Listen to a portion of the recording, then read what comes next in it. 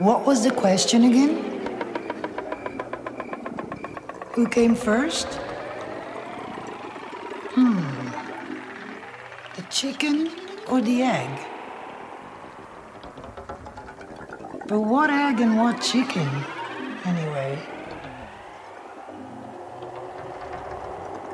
Oh, you're talking about Mr. Cosmic Rooster and the egg of knowledge, I suppose.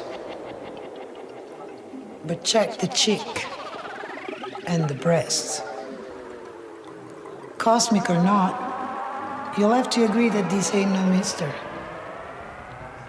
And therefore, it ain't no rooster. You know what I'm saying?